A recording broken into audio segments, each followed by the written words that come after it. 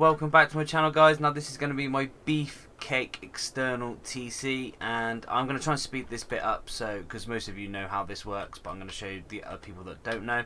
So the way the disconnectable external TC works is if this is your main base as an example and your TC gets broke you cannot place your TC down anywhere in the base until you come over into this base over here and you break this low wall here, this twig low wall break that. Once that's been broken, you can come back to your main base and you can place your TC back down. Once you've placed your TC back down in your main base, you should come back over to this base, your external TC base, and place this twig low wall. Okay, and then you are then protected. Um, and now I'll give you a quick tour of the beefcake base as it is. So I've got this new entrance type here. Most people aren't going to like this, but you never know. Someone might, so I put it in anyway. Um, what it is, is you can't get in unless you put your twig floor down. Um, don't know if it's good or bad. Some people might like it. Some people think it might be just a pain. If it's a pain, just make it stone, guys. It's no big deal. Um, up to you. Obviously, you've got a standard airlock and then coming into this first room I've just put this here you just for getting through but you can put whatever you want. Obviously we've got a piece of glass you can remove the glass and then to go on top you put your twig spirals. The first person I think I've seen do this with square foundations of the window I think was Odawa from my gaming addiction. So uh, I'll put a link to his channel in the description down below because it's got to be worth a shout out because he's awesome anyway comes up with loads of cool stuff. So that is that bit done. Next up we're moving into this part. So the way this works obviously you've got a window to peek out on this side. I mean you can put a metal brazier on there if you want. Same on this side you've just got some side peeks. And then on here you've got um, if you remove the glass you can see out there if your base was bigger you would be able to see. Up on if not you can always jump up on these and just get little bit better of an angle. Also, I'm going to show you, you can also see down through this window in a minute, I'm going to show you.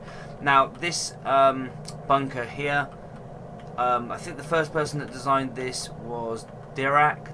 Dirac, I'm not sure how you pronounce his name. I'll put a link to his channel in the description down below. He done a triad bunker which uses three um, HQM roofs. Um, so I've done this with two HQM roofs, but the problem is um, it leaves a gap underneath this uh, vending machine. So I've used vending machines to cover up the hole, which is good.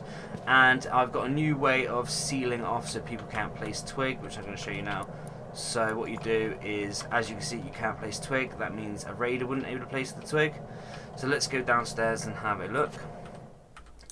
So what we would do is we would have a bag in here, which I have left out. So Make sure you get a bag in here, guys. Uh, I wonder if I can squeeze one in there. Yeah. There we go. So make sure you've got a bag in there because you're going to need it. And then to access your twig, you would have to break it from here. And then to replace the twig, it doesn't let you place it from far away. Uh, there it is. Some, if it's ever red, um, so sometimes you've got to just jump like that to make it go blue. So it does let you place the twig as you can see. So that's how you reconnect your external TC. Then jumping through this can be a little bit tight, but always try and stay on the stair side. Always find if you stay on the stair side, you don't get stuck. I have got stuck in there before. Um, I just have to wiggle out. So just keep on the stair side, and you will just pass through. So we've got some storage in there. We've got um, a workbench in the honeycomb, and we've got some furnaces in the honeycomb, and we've got. Let's get back to the bunk a bit. So the way I've sealed this bunker to stop you placing the twig, I've used two tuna cans. As you can see the tuna cans go up underneath the vending machines. So all you do is you um, remove the two tuna cans and then come down here and it will let you place the floor triangle like so. Oh, it can be a bit, there we go. Got it.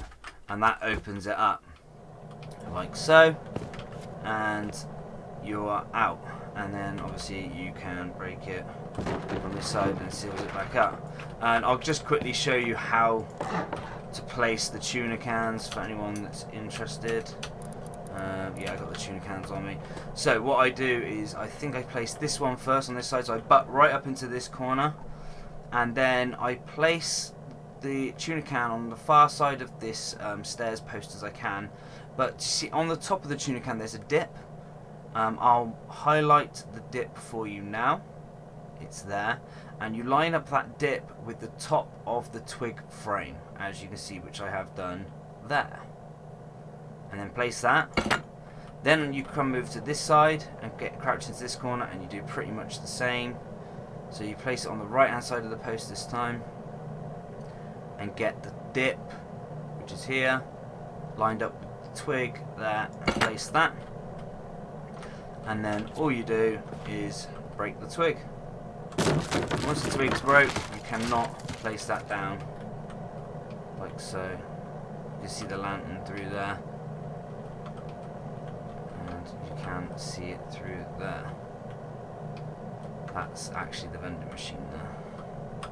Anyway so that's how I've sealed it and yeah um, hope you guys like it you got some good views.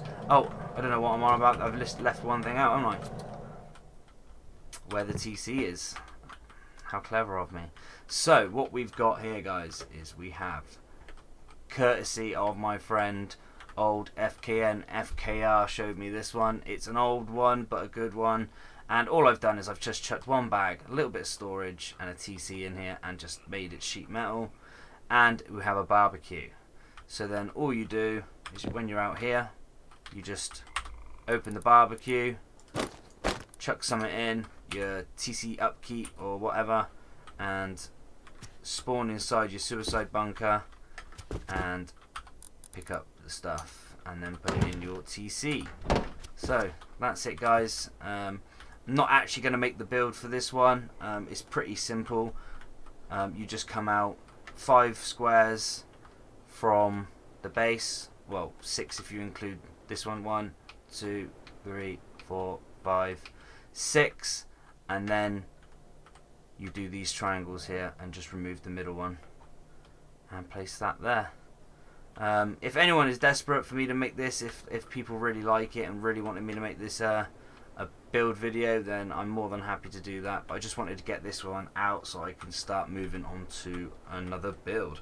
Hope you guys like it, and I will catch you guys later.